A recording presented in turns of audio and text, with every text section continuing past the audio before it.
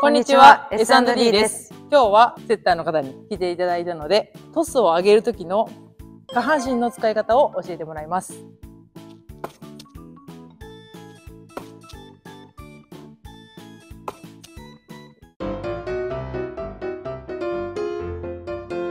まず足は右足前。はい左足ちょっと後ろ。はいで、上げるときは、重心は母子球。母子球です。母子球。はい。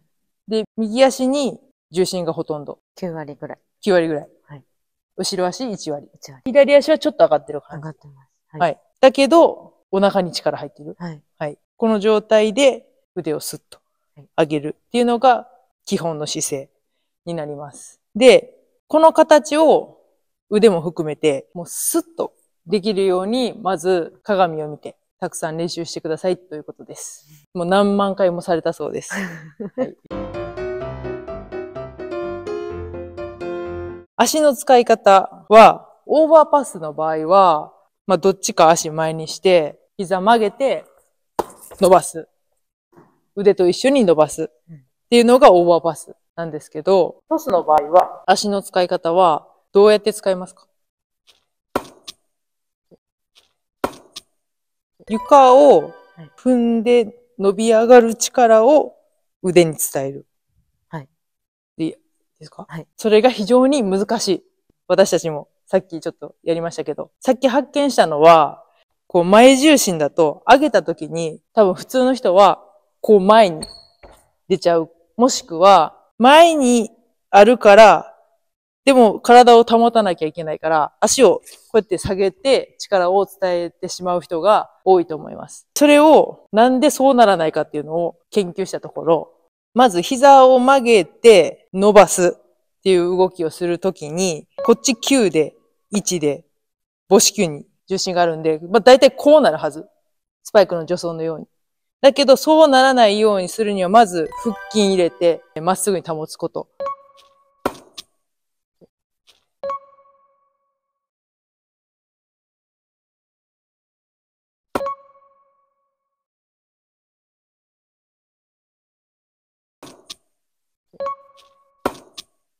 もう一つは、こう伸び上がるときに、前重心で伸び上がると前に行っちゃうので、ふくらはぎを使って上に引き上げると、地面の力を足を使ってまっすぐ体に、腕に伝えることができます。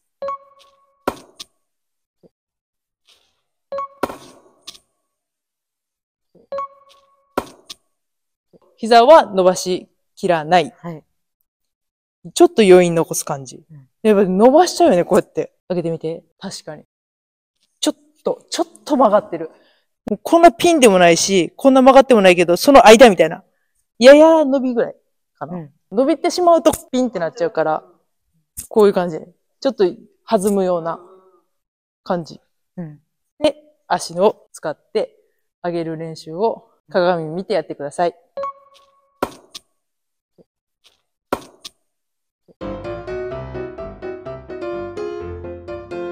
伸ばしきらなくても、ちょっと余韻残るぐらいで大丈夫です。なんかスナッチみたいなイメージですかね。ああ、こうか。うん。これ右足前ってすごいやりにくいな。でもイメージ的にそうかもしれない。なんかめっちゃやらされたんですよね。こうんうんうん。う、この練習めっちゃして、でも確かにそうやな。これと一緒やな。下からのあこうあ力をこう上に持ち上げるみたいな。足をいつ伸ばしたらいいのかが分からへんねん。そう、どのタイミングで足の力を伝えて、うん。それを手に持っていくのかが分からへん。オーバーパスやったら普通にもう、なんていうの？全然そんなこと気にせえへんから。ですよね。1、2とか、あんまない。これとオーオーバーパスやねんな。思いっきり伸びなくて大丈夫です。こんな全部、ヨンってやらなくてあ大丈夫。余韻？はい。余韻な？おーああ、今のよかった。いいです、今の。おー、綺麗。あ、わかった。膝を曲げて戻すだけって感じ。こうやって膝曲げるやん、まず。で、こう、まっすぐに戻すぐらいな感じ。なんかイメージは、ほんまに曲げて、伸ばすだけやけど、やっぱ、これがタイミングが難しいな。やっぱり頭で上げるのがいいんですか？ね。じゃあ手使わないで。確かに